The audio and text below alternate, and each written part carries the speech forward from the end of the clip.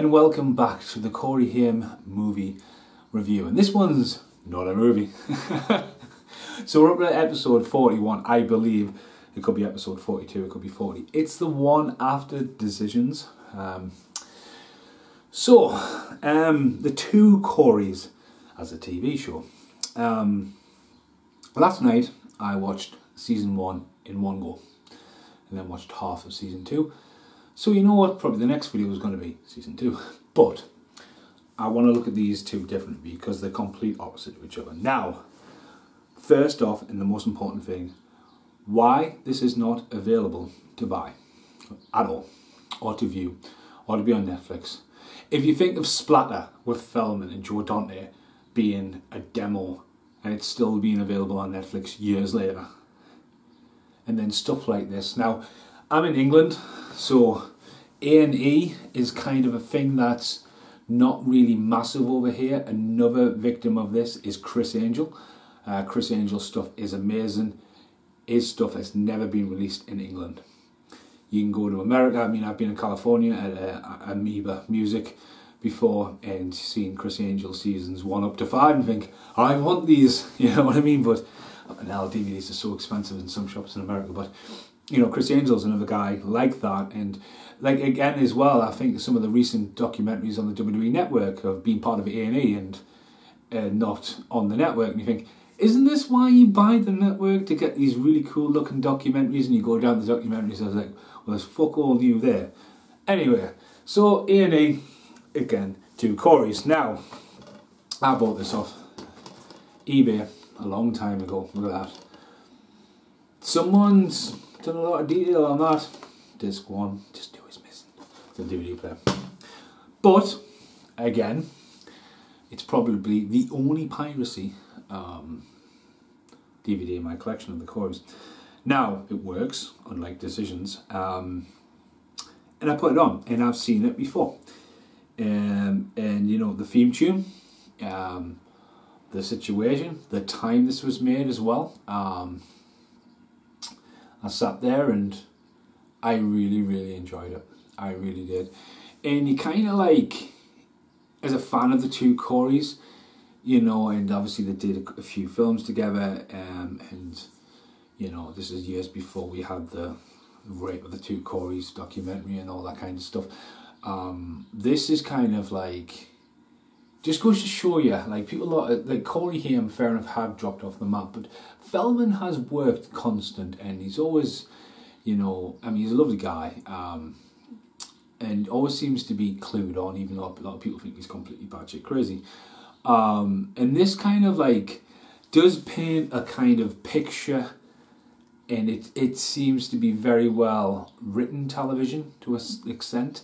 Now, a lot of people go, it's not real, it's fake, it's scripted I've had a reality show, and I can tell you this right now, there is guidelines. So you'd be surprised of how much looks fake and actually is real, especially oh the how would they know to capture that on camera? Sometimes shit just happens. What you need to do is have multiple cameras and just basically put the right elements in the right situation, and again have stuff in place for shit to go down. Now with the two Coreys, um, I think obviously it tiptoes around. You can see where they've got the rights to certain stuff and rights they haven't.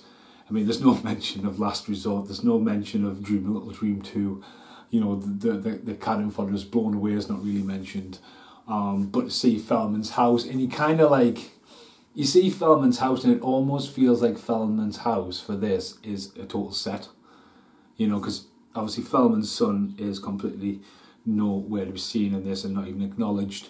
And I say that because of in the second season they move house kind of thing, but it's a pretty elaborate house and someone who follows Feldman's work, I mean, you probably could afford a house like that, you know what I mean? But it's kind of like, it kind of looks like they've made the house just for the series, but again, that's what they would do. So anyway, um, it's great to see the chemistry and again, a lot of people say it's scripted. If this is scripted, you've got to give these guys credit because they've opened the door, they're willing for exposure. Um, they go on about him. Haim is literally taking the ugly stick for this. You know, he's you know, the first season is very bubbly.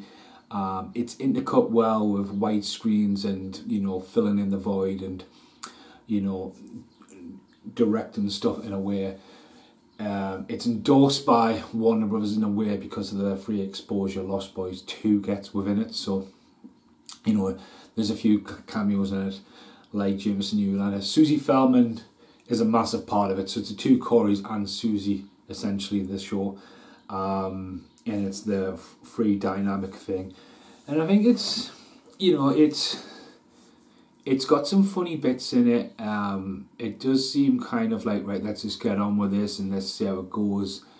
And I don't like for me reflecting on this. Like there's one bit that I've laughed my ass off when I originally watched this, and I'm going to cut to it now because I laughed my ass off again when I seen it last night. I need to talk to you. What happened? Is Jake okay? I need to talk to you about Joanne. Your dog's fine, your house is fine. That's fine. I have a thing I need to talk to you about.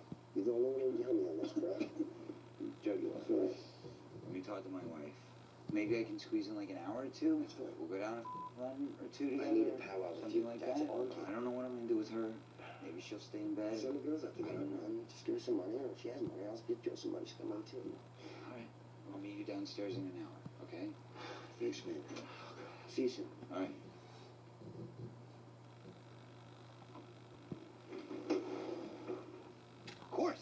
Course he has to show up my room because he can't leave me alone for five minutes. I mean, God forbid I have five minutes alone with my wife. I want my wife. Is that okay? Is that okay? Corey, Mother. why is everything about him? That bit, the whole, just Feldman coming back in and completely venting his frustration and just motherfucker. I loved that. I absolutely loved it, and that's just one of the highlights of the show. But it kind of doesn't know where it wants to go because again, it's it the, you know the, it's a buddy friendship, but there's obviously some dark underlines. The stuff that you know when he touches a picture, it drops off, and you think, oh, are they just try again? It seems really well, kind of like this could work as a series. And then we get to the second series, which we'll talk about in the next video. But like, is a first series one, it, it's left with a cliffhanger. But then weirdly, it has a final episode that's a flashback.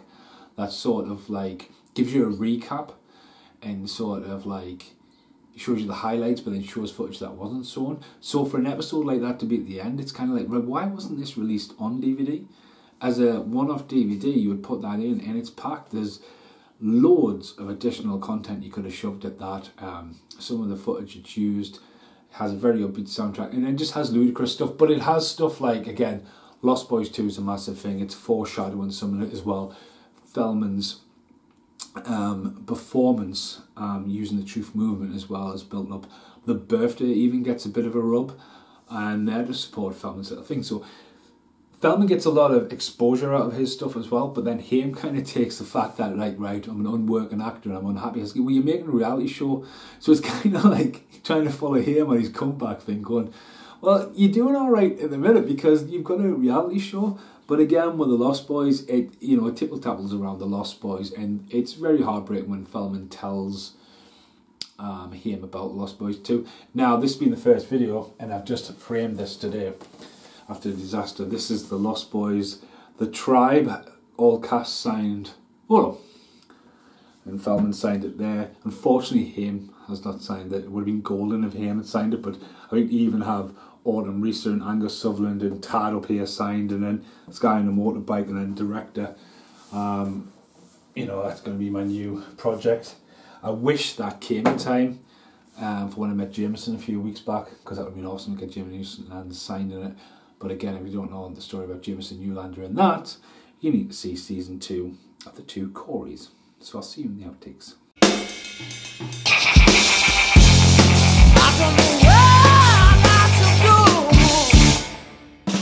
Yeah, um, I watched it all in one go. It was just such easy to watch. I mean, again, I was editing my new Bruce Willis video that came out two hours long, and I was like, "This is never going to end." And then when I mastered it, I was like! But when I started mastering the video, bearing in mind it's two hours long, so it's gonna take some time.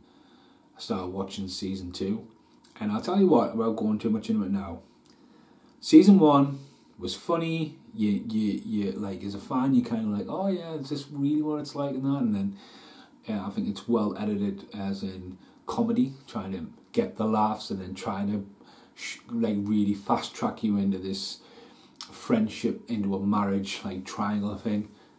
But I think looking back at it now, you know, as I said, like season one and season two completely different. Last night, I think season two is fucking amazing, mind. And I'll talk about season two in the next video. So thanks for watching Tree Entertainment. Goodbye for now.